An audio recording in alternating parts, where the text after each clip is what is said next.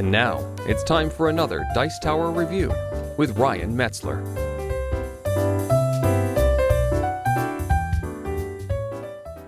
Hey everyone, it's Ryan Metzler here again, and today we're going to be taking a look at a listening game. Uh, this is called Igloo Pop, and it is a game about an Eskimo who has decided to go to the supermarket in order to get fish sticks. Uh, but instead, he encounters some igloos and shakes them, uh, trying to figure out how many fish sticks might be inside. But it turns out there's kids inside, uh, and it has one of the craziest stories that I've ever heard in my life.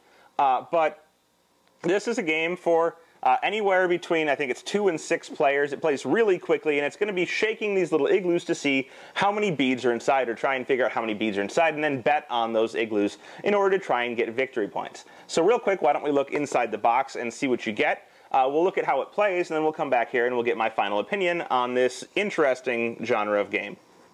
So here you can see the components for Igloo Pop. Now, this is going to be a game in a genre that doesn't have many games in it. This is a listening game. Uh, you're going to be shaking these igloos, trying to figure out how many beads are inside them. Each player is going to have a set of playing pieces. They have little round discs. These are called thalers in the game. Uh, it doesn't matter, discs, whatever. These are going to earn you points at the end of the game for how many you have left and how many you've collected from other players. Now, since each player has their own, let's move these out to the side. I just want them there so you can see what they are. Uh, in addition to that, there's all these little igloos. There are several plastic igloos. I think there's 12 of them, 2, 4, 6, 8, 10, 12. Uh, and you are going to be using these to try and earn points by guessing how many beads are inside of them. Now, at the beginning of each round, you're going to lay out nine cards.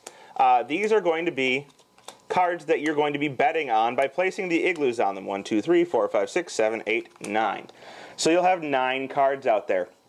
And these cards are going to have numbers and Eskimos on them. So you'll see, for example, here, we have the 5 card, which simply has number 5, and it has 3 Eskimos on it because whoever wins this card would get 3 points. We also have a card that has two numbers on it. For example, we have 5 and 6. You'll note two Eskimos. It's worth 2 points only because you can win this with either a 5 or a 6, so it's a little bit easier card to win. And then we have cards with three numbers on it. We have 8, 9, 10. This one only has one Eskimo on it. It's only worth one point because there are three potential numbers that can win this card. Once you've laid all this down, the youngest player is going to count to three, and every player is going to reach into here and they're going to grab one of these Eskimos, and they're going to shake it. And they're going to try and guess how many beads are in these Eskimos. They can take one at a time, they can shake it, they can either decide to bet with this Eskimo or place it back, and then they can take another Eskimo. So they're going to shake it, they're going to try and figure out how many beads are in it. So let's say, for example, maybe the green player picks this one up. They think there are five Eskimos in here. So they're going to take this one, they're going to place it on the five. That is their bet that this Eskimo contains five beads, and they're going to move on. They're going to grab another, another sorry, uh, igloo. They're going to grab another igloo, and they're going to shake it, see how many beads are inside of it. Uh, so maybe they think there's you know, four or three in this one. Well, they're going to look around. There are no fours or threes, so maybe they would simply put this one back in the center. And maybe yellow grabs one. They shake it. And they're going to say, maybe there's nine beads in this one. They're going to bet that there. Uh, and blue picks one up, and they think, hey, this one's got few beads in it. Maybe it also has five. And purple picks one up and shakes it, and they think, well, mine has six in it. And you're going to go around like in this manner until everybody has decided they no longer want to place any igloos out onto these cards, or they run out of thalers and they can't place them, uh, and or all the igloos are placed.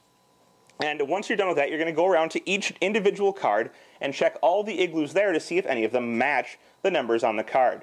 So for example, we have this one over here that has 5 on it. We're going to check blue igloo first. It has 3. This is an incorrect bid. His thaler comes off and stays there, and the igloo goes back into the center. Now we're going to check Green's, and they're going to look at their number, and it is indeed 5.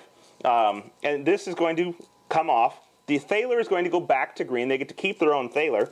They also get blue's thaler since they, they were wrong. And they're going to get this card. So in this case, they have kept their own point.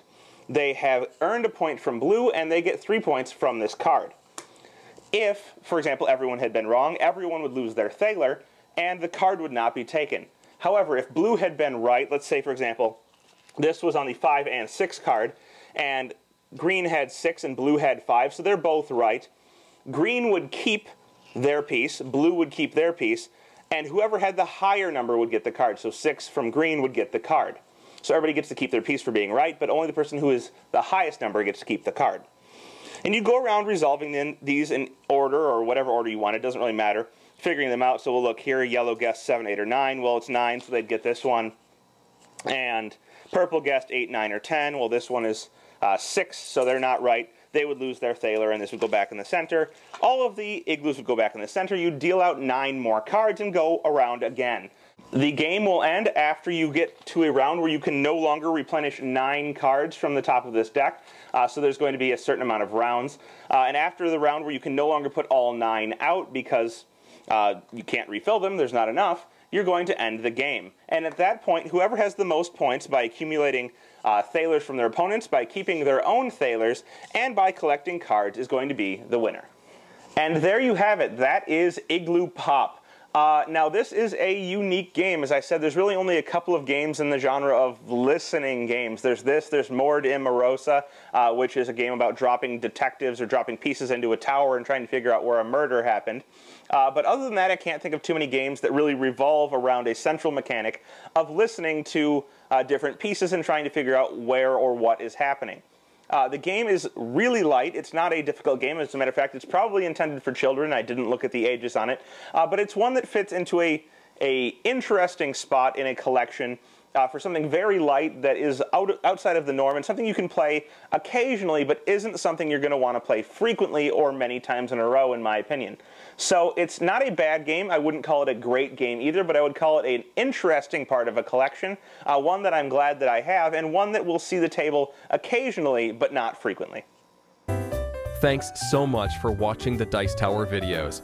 Find more great videos and reviews, as well as our top rated audio podcast at Dicetower.com. You can also find the latest board game news at Dicetowernews.com. I'm Eric Summerer, and you've been watching The Dice Tower. The Dice Tower is sponsored by Fun Again Games, the world's best game source. Fun Again Games has over 5,000 games available. Check them out at funagain.com.